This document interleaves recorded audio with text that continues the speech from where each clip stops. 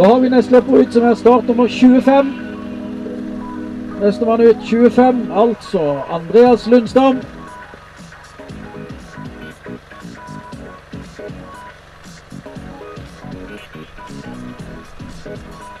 Som ligger der oppe på vår venstre.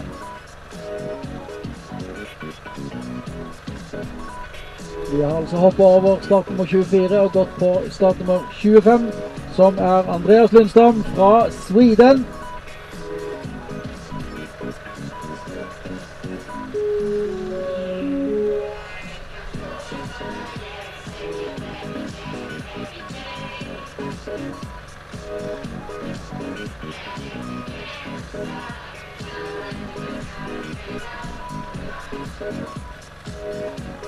Eh, Sjarmerende forhold til venstre.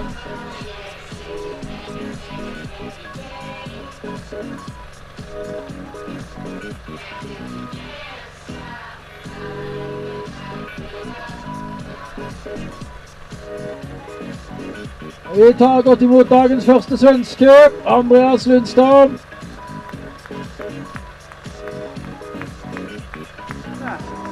Ja, det var varierende underlag, men det var kul. Var det? Ja, litt hardt bitvis. Det er første gang du renner i Hundedalen? Hva? Det er første gang du renner her? Første gången. Ja. Ja, det var kul. Ja. Riktigt kul.